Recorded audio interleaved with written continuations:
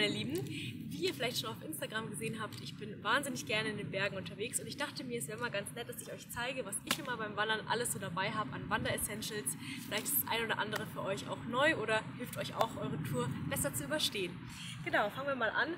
Ähm, was ich absolut jedem empfehlen kann, das habe ich erst vor ein paar Jahren auch erfahren. Ähm, das gibt immer diese ganz dünnen Buffs, heißt es ja. Und das kann man sowohl als Stirnband oder halt auch um den Hals einfach mal drum tun, vor allem oben auf dem Gipfel. Da zieht es halt einfach öfters zu.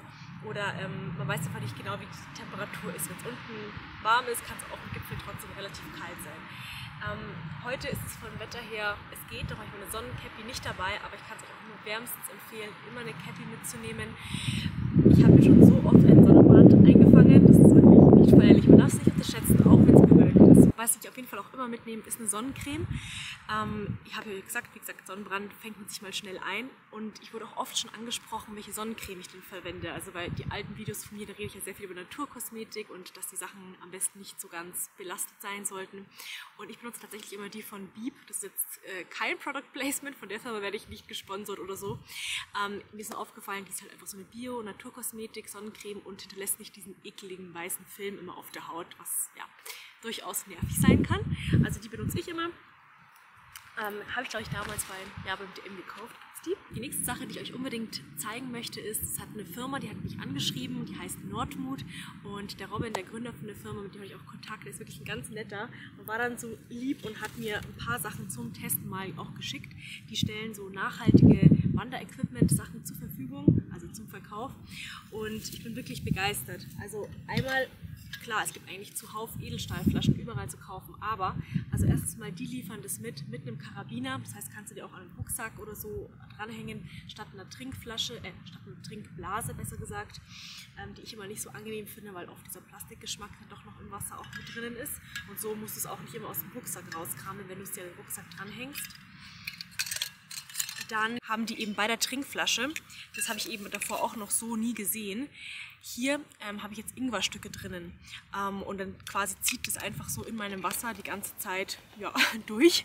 Somit habe ich nicht diese ganzen Stücke oder was immer ich da auch, wenn ich losen Tee mitnehmen möchte, kann ich den einfach hier abfüllen und ähm, ja, ist dann einfach in der Flasche ganz bequem zum Transportieren. Ich kann es euch mal zeigen, hoppla, Vorführeffekt. so ungefähr sieht das, Ganze, das Ganze dann aus. Und ähm, die haben auch immer, das finde ich wirklich cool, auch bei der Brotzeitbox nochmal so einen, wie nennt man denn das? äh, Dichtungsring. Mhm, Dichtungsring, ja. Genau. Ähm, mein Deutsch. ähm, ja, haben sie immer noch so einen Dichtungsring mit dabei. Das ist wirklich gut, weil ja, mir sind auch die Flaschen des Öfteren mal ausgelaufen. Bei den Edelstahlboxen von denen. Was ich auch ziemlich, ziemlich cool finde, haben die auch so nochmal Trennfächer mit dabei. Und ähm, man kann sich bei denen auch nochmal so einen Löffel kaufen. Beziehungsweise ist es eben für alle, die es kennen, wenn man auch Meeres, Mehrtagestouren unternimmt, kann man halt eben sowohl den als Gabel verwenden als auch als Löffel. Das ist wirklich praktisch, also sei es jetzt Joghurt oder was auch immer man dabei haben möchte. Ähm, zusammenklappen tut man den einfach, indem man hier zusammen das Ganze zusammendrückt und dann einfach mal umklappen. Also wirklich sehr, sehr leicht und praktisch zum Transportieren. Und wenn ihr auch nochmal Touren im Winter macht, dann haben die auch so Tassen, die die Wärme auch wirklich länger halten. Also ihr könnt euch ganz in Ruhe entspannt hinsetzen auf dem Berg und was Warmes trinken, ohne dass ihr Angst haben müsst, dass euch das alles gleich kalt wird.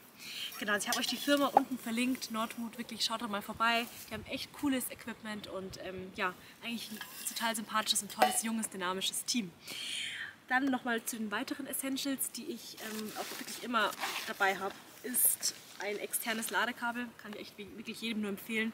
Ich würde auch ein kleineres wählen, weil die Dinger werden relativ schnell schwer, kennt ihr ja vielleicht. Und ähm, das war jetzt ein kleineres, habe ich damals sogar auf Amazon gekauft. Wirklich sehr praktisch, weil der Akku ja manchmal nicht so lange hält, vor allem bei schwankenden Temperaturen. Das muss ich mir überlegen, was ich noch zeigen wollte. Natürlich Wanderstecken, ohne die geht es auf keinen Fall. Also Wanderstecke habe ich eigentlich persönlich immer dabei. Ähm, ich finde, damit geht es auch viel leichter, vor allem beim Runtergehen ist es auch wirklich knieschonender. Und eine coole Sache muss ich euch auch noch zeigen. Da muss ich tatsächlich meine Schuhe mal ausziehen. Und zwar, ich habe immer so ein ganz großes Problem mit ähm, Blasen sich laufen. Also ich hatte stattdessen also wirklich so ein Dilemma, überhaupt Wanderschuhe zu finden, wo ich mir keine Blasen gelaufen habe. Und dann habe ich von sogenannten Anti-Blasensocken erfahren. Die gibt es nur von dieser Firma. Ähm, von der werde ich nicht gesponsert, aber ich kann es wirklich nur jedem empfehlen.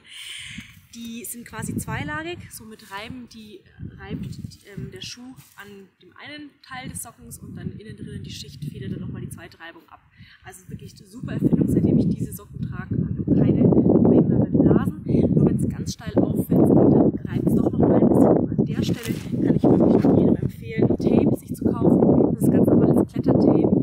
Ähm, oder könnt ihr aber auch ähm, Physio-Tape euch besorgen, Kinesio-Tape und erstmal hinten auf die Ferse zweimal, dreimal lagig was drauf und danach noch die, die Blasensocken und dann nochmal die Bergschuhe. Ein weiterer Essential, gute Bergschuhe.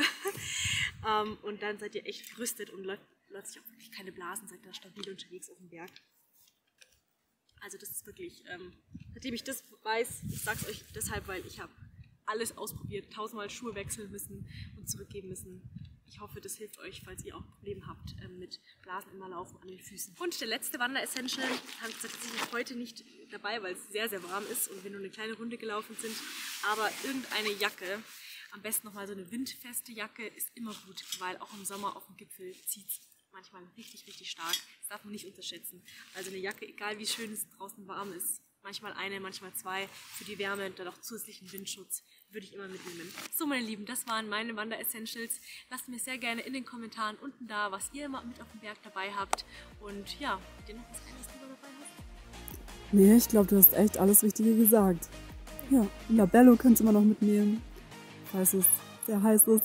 Ja. Spröde Lippen. Absolut. Oh, Bikini im Sommer.